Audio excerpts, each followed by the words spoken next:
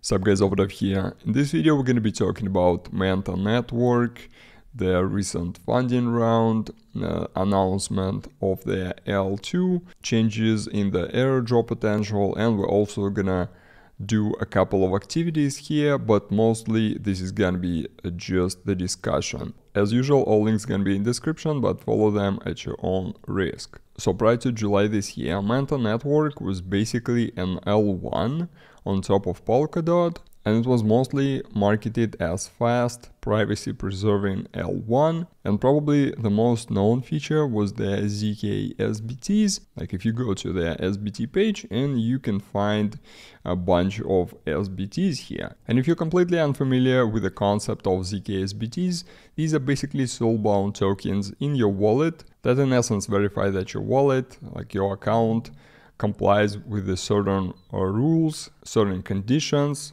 This can be effectively anything. And this concept is not just used by Manta, for example, the well-known BABT, Binance Account Bound Token, is also the SBT. So in this example with the Binance, everybody who passed the KYC on Binance can mint this uh, soulbound token and basically it proves that you completed the KYC on Binance without actually revealing any of your personal information. So that's the whole point of SBTs, it basically proves something without revealing sensitive information. But going back to Manta, obviously the KSBTs is not the only thing they develop.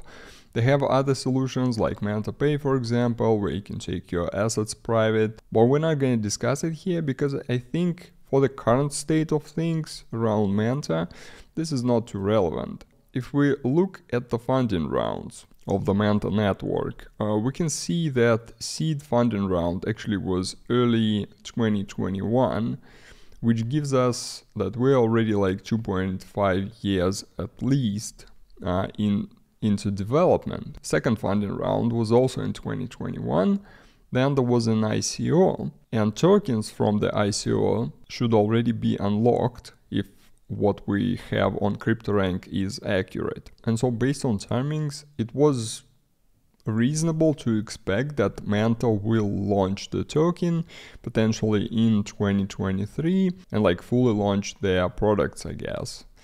However, late July, we had two announcements. First, that they raised another funding round. It's Series A, pretty large, 25 million with 500 million valuation, led by Polychain. And also at that time, roughly, they announcing that they're now gonna be building an L2, EVM compatible L2. And the whole thing is starting to look a little bit like a pivot. Like they pivoting from what they've been developing into actually developing an L2. However, I think it's not the pivot, it's like an addition to their previous technologies. And again, obviously everything is subjective, but I think that's the right course of action here. And I'll explain why in a minute. So now, if we check the docs, as you can see, we have Manta Atlantic, which is the layer 1.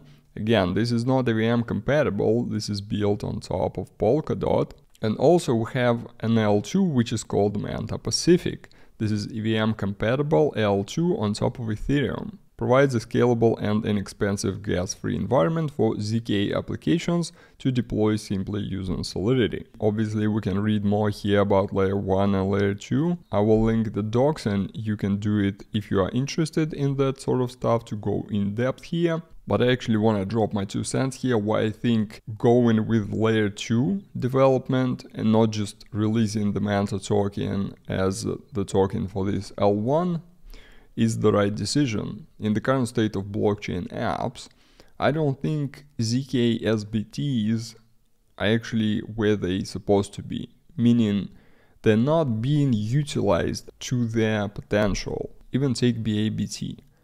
I've seen couple apps where you could get like a stamp for having this BABT.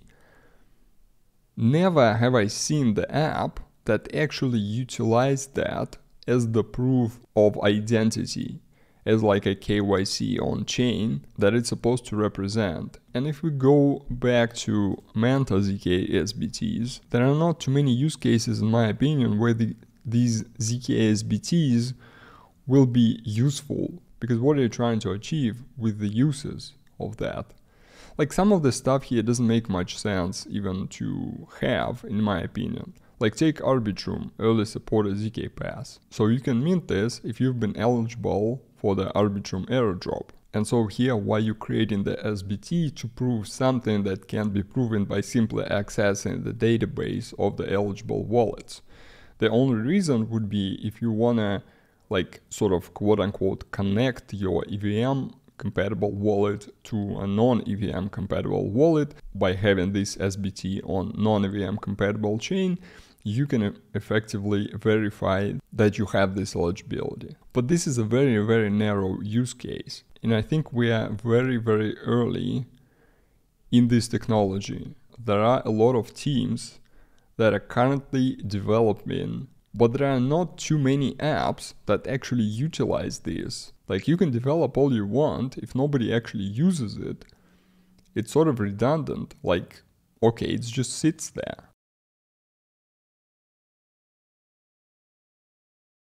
Think if they launch a token at this time, especially considering we are pretty deep in bear market, safe to say I guess, in my opinion this would tank hard. If you just develop the solutions basically, you need to find other playgrounds that can utilize your solutions if you don't have your own playground. But now with this L2, that's the playground and they can bring the solutions that they already developed and create this ecosystem for ZK apps, especially because it's VM compatible and it's fairly easy to uh, bring some developer teams to your blockchain as well because it will require the minimum amount of adjustments from their project on other chains. And I also like their approach for building L2. They're not building from scratch. They are utilizing OP stack, which I think currently quote unquote standard in building L2s and they aid in Celestia's data availability layer and also Caldera solutions for the blockchains. And so effectively you take in all of these pre-built tools, you put them together and bam, you got your own L2. On top of Ethereum, EVM compatible, supposed to be super fast with low fees.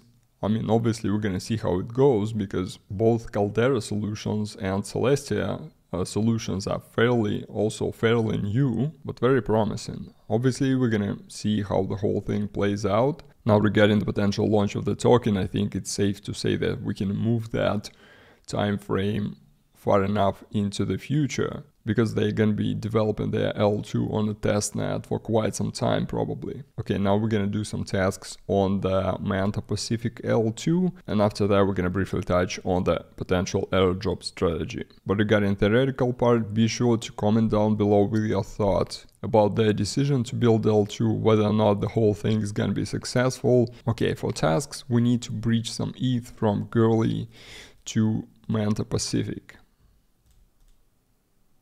So I'll just send one ETH. You can send any amount that you want. Okay, my transaction was completed on Goerli, but this window still says waiting for deposit.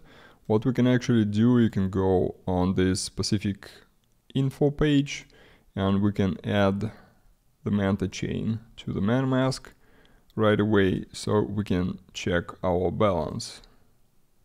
So my ETH actually arrived here and that window is just lagging.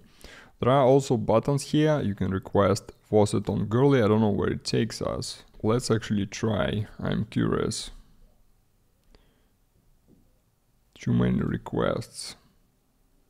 Okay, I'm not too interested in Goerli, but you can try this function. Let's try to request funds on Manta says receiving. Fund sent to our address. Okay let's see. Okay so we're getting 0.01 ETH which is not bad. If you're trying to request again yeah you can only request once every 24 hours but that's not bad actually. Now we're gonna interact with the two DeFi applications that are currently live. The first one is ZKEX, that's a multi-chain order book DEX, and second one is gonna be Izumi Finance, Let's connect the wallet first.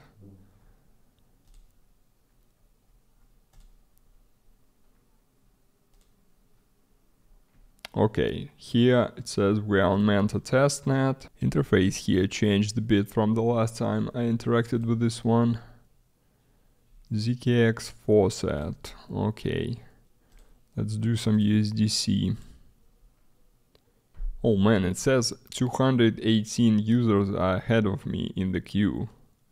So it should take around 7 minutes to process. Okay, while we wait our funds on ZKEX, we can do some swaps and liquidity on Izumi Finance. Here make sure that you are on Manta Pacific testnet and we can do some swaps first of all. What's available? iZi USDT. Let's do ETH to USDT. It seems like there is no liquidity here. Okay, we can swap ETH to iZi.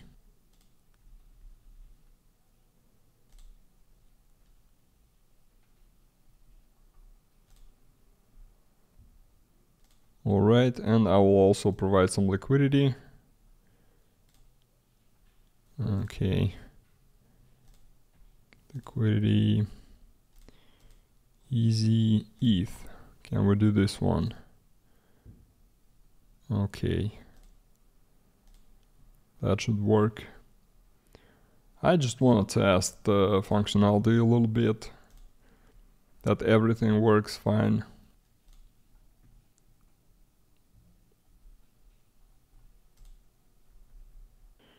Okay.